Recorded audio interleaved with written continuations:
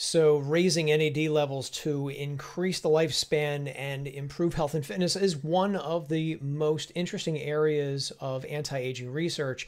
And no doubt there's a lot of expensive NAD booster supplements out there on the market right now. But what about niacin? Lowly, inexpensive niacin. Can niacin also raise NAD levels? In this video, I'm going to show you some evidence that may make you think twice about this very interesting vitamin.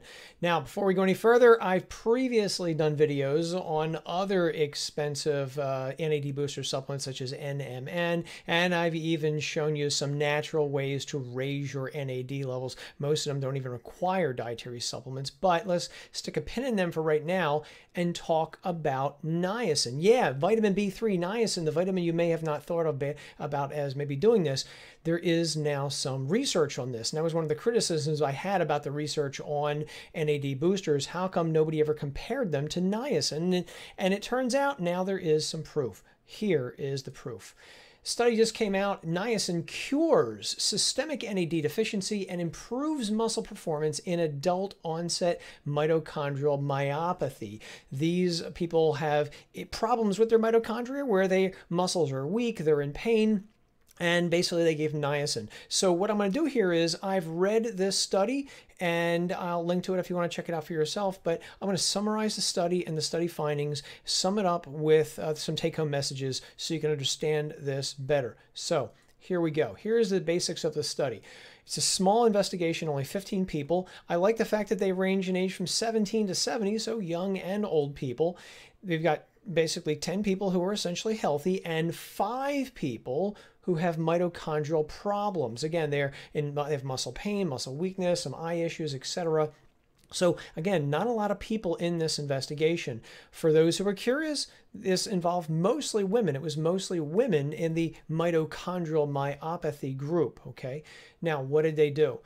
So they gave them niacin, regular niacin, nothing special about it, started them at 250 milligrams a month, and every month increased them by 250 until they got to one gram a day, 1,000 milligrams a day. So it took them four months to get to that 1,000 milligrams, and then they followed through taking 1,000 milligrams a day for 10 months. They took the niacin at night with food, something to think about, and they used a time release niacin. So, good thing about this is it's a pretty long study. It lasted almost a year, so uh, they, gonna they got some interesting results, which I'll share with them here. So, what what the heck happened? So, in the people with mitochondrial problems, taking niacin led to an increase in NAD levels, which they said was twice over what they saw in, in the beginning, at the start of the investigation. So it appeared to double the NAD levels in the people who started out with mitochondrial problems and low levels of NAD to begin with.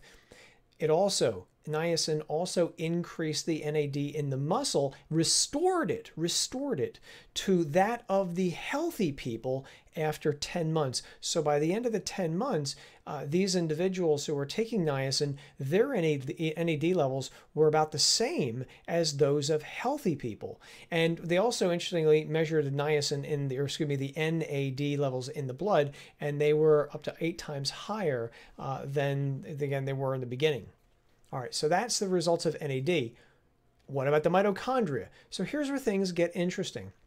In the people with mitochondrial problems, okay, niacin increased mitochondria production, as they like to say in the anti aging world, mitochondrial biogenesis. That's fancy talk for making more mitochondria.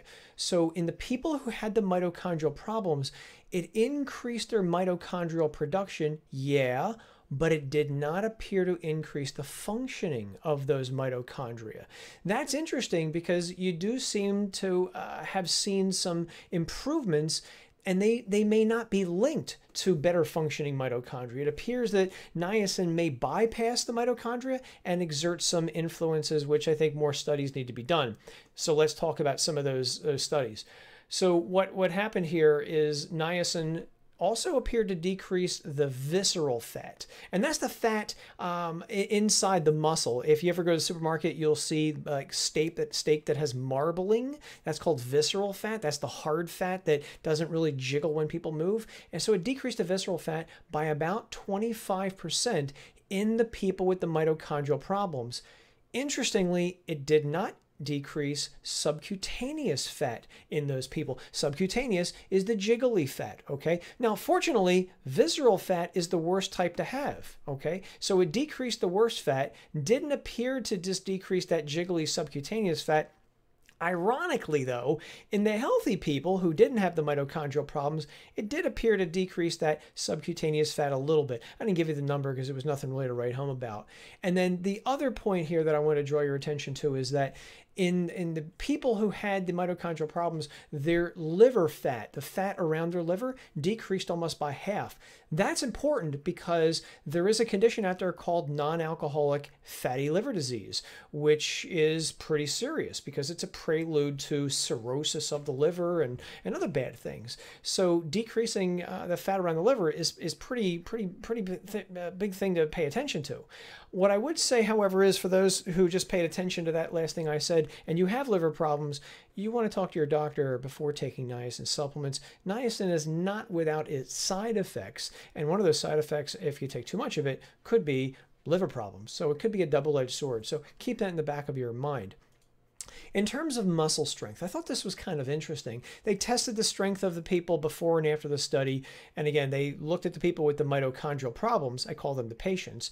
And they noted that in the upper body muscles, the, the arms, the abs, etc., their upper body muscle strength improved. And just, you know, for fun, I'm giving you here what you may hear about if you hear about this investigation.